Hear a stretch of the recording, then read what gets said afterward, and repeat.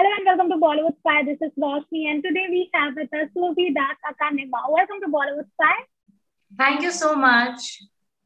तो फर्स्टली हमें ये बताइए सूजी की एक बहुत ही सुंदर से किरदार में हम आपको देख सकते हैं टीचर बहुत ही अमेजिंग है जो एक लुक सामने आया है आप बहुत प्रिटी लग रही हैं कैसा लग रहा है इस शो का हिस्सा बन के thank you so much first of all और बहुत ज़्यादा अच्छा लग रहा है बहुत ज़्यादा खुशी हो रही है। uh, इतने बड़े चैनल uh, के लिए इतना बड़ा show that too for lead role वैसा पहली बार north east specially from Assam ऐसा कुछ पहली बार हो रहा है। So I am very very much happy and excited and just waiting for twenty third August जी बिल्कुल। हम भी इंतज़ार कर रहे हैं क्योंकि आपका जो एक लुक सामने आया है और स्पेशली ये जो एक स्टोरी लाइन हम देख सकते हैं बहुत ही अच्छी है जिसके बारे में सच में लोगों को बात करनी चाहिए। ऐसे में आप इसका अहम एक किरदार कह सकती हो वो प्ले कर रही है। तो we would like to know कि क्या आपको लगता है कि इस तरह के शो से जो एक बदलाव की उम्मीद की जा रही है वो हम देख पाएँगे? बिल्कुल बिल्कुल आ, क्योंकि हमें लगता है मूवीज़ हो या फिर सीरियल्स हो इन सब चीज़ों से हमारे जो यंग जनरेशन है वो बहुत ज़्यादा प्रभावित होते हैं। तो अगर हम इन आ, ऐसे सीरियल्स में या फिर ऐसे मूवीज़ में अगर हम ऐसी चीज़ें डालें ऐसे टॉपिक्स पे हम बनाए जिसपे बात करनी चाहिए लोगों को जिसपे आवाज़ उठानी चाहिए तो बिल्कुल ये मुझे लगता है कि हमारी जो यंग जनरेशन है उनको इन्फ्लुएंस करेंगे उनको नॉलेज होगा इस चीज़ के बारे में कि हाँ जो इंडिया में रहते हैं like we all are Indian और जो नॉर्थ ईस्ट के लोग फेस करते हैं that is real and that really hurts और नॉर्थ ईस्ट के पीपल का जो स्ट्रगल है वो देखने को मिलेगा वो definitely I am we are very hopeful and we are fingers crossed just ये है कि इस सीरियल से जो मैसेज मिलेगा सोसाइटी को वी आर होपफुल कि उससे एक पॉजिटिव uh, एक पॉजिटिव रिस्पॉन्स मिलेगा। जी बिल्कुल। आप भी सिक्किम और आसाम से हैं। क्या आपने कभी इस तरह की जो बुलिंग होती है या फिर कह सकते हो जिस तरह से एड्रेस किया जाता है क्या आपने कभी इस तरह की चीज़ें फेस की हैं? जी जी बिल्कुल। uh, मैंने हर इंटरव्यू में ये बात बोला है कि ये बहुत कॉमन होता है नॉर्थ ईस्ट के लोगों के लिए कि रेसिज्म फेस किया है क्या? क्योंकि सौ में से नब्बे या नाइन्टी फाइव लोग रेसिज्म फेस करते ही है।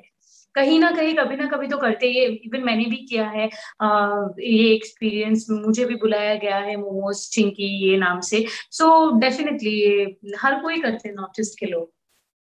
जी। तो ऐसे में उन सारे ही लोगों को जो इस तरह से आप कह सकती हूँ कि माहौल खराब करते हैं तो उनके लिए क्या कुछ होना चाहेंगे मैं बस उनको यही कहना चाहूँगी कि आ, आप लोगों को शायद ये मज़ाक लगता होगा आप लोगों के लिए शायद ये फन होगा किसी को चिंकी बुलाना किसी को मोमोज बुलाना किसी को चाइनीज़ बुलाना पर जिन लोगों को आप बुलाते हैं उनके लिए वो मज़ाक नहीं होता है। और उनको बहुत हर्ट होता है उस चीज़ से हमें बहुत हर्ट होता है उस चीज़ से कि हमें अपनी जगह पे रह के जहाँ पे हम पैदा हुए हम खुद को हिंदुस्तानी बोलते तो हम हिंदुस्तान में ही अगर हमें खुद की पहचान बार बार देना पड़ता है या फिर बहुत बड़ा मुकाम हासिल करना पड़ता है इंडियन कह, कहलाने के लिए तो बिल्कुल हमें बहुत दुख होता है उस चीज़ का। तो हम उन, उनको यही बोलना चाहेंगे कि जितनी जल्दी हो सके ये माइंड से ये माइंड सेट चेंज हो और लोग ये समझे कि नहीं ये मज़ाक नहीं होता है और ये बहुत हर्ट होता है इन चीज़ों से। जी, बिल्कुल। फिर कलर्स एक बहुत ही बड़ा ब्रांड है और आप उसके एक बहुत ही बड़े शो की लीड में हमें नज़र आने वाली है। हम जानना चाहेंगे आपको कि रोल आपने किस तरह से हासिल किया? सो uh, so, मैं इसको अपना लक बोलू डेस्टिनी बोलू हार्डवर्क बोलू I don't know what is it exactly but I think मैं बस ये बोलना चाहूँगी शायद it might sound very filmy but I am a filmy person and मेरी लाइफ फ़िल्मों के ऊपर सीरियल के ऊपर ही गुजरती है। मेरी हर चीज़ फ़िल्मों से लेके फ़िल्मों पे खत्म होती है। तो मैं बस ये बोलना चाहूँगी कि uh, सच में शायद किसी चीज़ को अगर हम पूरे दिल से चाहते हैं तो पूरी कायनात उसे uh, आपसे मिलाने में जुट जाती है। तो मैं मैंने इस चीज़ को इतना चाहा है, बहुत सालों से इतना चाहा है कि भगवान को भी शायद ये लगा कि चलो, दे देते तो मैंने वहाँ पे असम में बहुत म्यूज़िक वीडियोस किए हैं।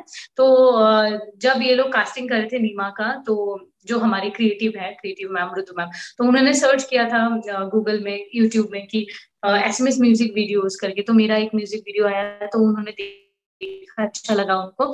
देन इंस्टाग्राम uh, में फिर मुझे कांटेक्ट किया। देन हमारे म्यूचुअल उनके म्यूचुअल फ्रेंड uh, थे जो आसाम से थे वो ही इज़ ऑल्सो डीओपी तो उन उन्होंने कांटेक्ट किया फिर ऑडिशन के लिए बोला। ऑडिशन हमने मैंने ऑडिशन भेजा था but I was not I was like चलो दे देते हैं, ऐसे होगा, नहीं होगा, वो बाद में देखा जाएगा. बिकॉज़ कलर्स के लीड के लिए होना is a very big thing बहुत बड़ी बात है। तो मैंने वो जब मैंने दिया था, तब मैंने सोचा नहीं था कि सच में मिल जाएगा। तो मैंने ऐसे दे दिया दे दिया था। देन दे से कि वी लाइक अ ऑडिशन तो फिर दोबारा री ऑडिशन किया। फिर उसके बाद मैं यहाँ पे आई, मुंबई मॉक शूट किया लुक टेस्ट हुए।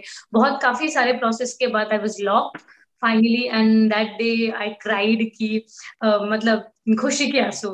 एंड इतना इतना सडनली सब कुछ हुआ it's like dream dream come true ji.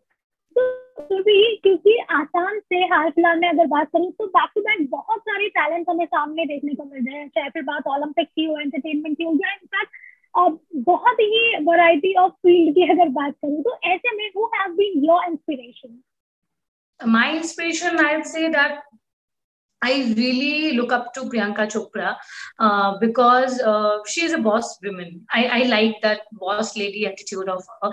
She is. Uh, she she was also from a middle class family and उन्होंने भी काफ़ी स्ट्रगल किया है I I will not say middle class but उन्होंने भी काफ़ी स्ट्रगल किया है uh, फिर स्ट्रगल करने के बाद जो उन्होंने अभी मुकाम हासिल किया है हॉलीवुड बॉलीवुड से लेके हॉलीवुड तक तो I I really look up to her जी, बिल्कुल। आप रिसेंटली डांस दीवाने के सेट पर भी गई थी और वहाँ पर भी आपने शो को प्रमोट किया। वहाँ का एक्सपीरियंस कैसा रहा? जो हमने आपकी पिक्चर भी देखी गुंजन के साथ इवन चीज़ का आसाम या सो बहुत बहुत ज़्यादा experience because when I entered dance Deewane set because वो मैंने डांस दीवाने हमने टीवी पे देखा है Bharti Harsh Madhuri ma'am Dharmesh sir Tushar sir everyone Mirabai ji उन सबको हमने देखा है मीराबाई के बारे में बोलो उन्होंने इत, इतना गर्व किया है गर्व महसूस कराया है हमको।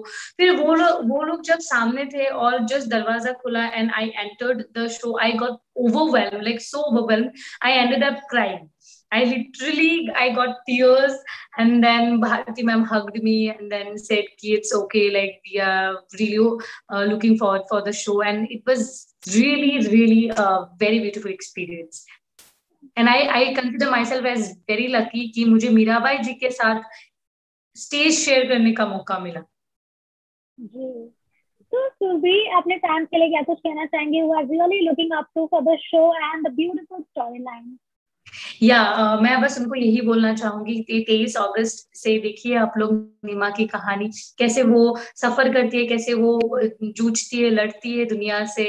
And Monday to Monday to Friday रात नौ बजे नीमा डेजोपा और जितना प्यार आप लोगों ने दिया है ऑलरेडी प्रोमोज में जो भी पोस्ट कर रहे हैं हम सब में इतना सारा प्यार दिया ऐसे ही देते रहिए प्यार। और हम भी कोशिश करेंगे कि आप लोगों के प्यार को हम दुगने तरीके से मेहनत करके आप लोगों को अच्छा अच्छा कंटेंट दे पाए।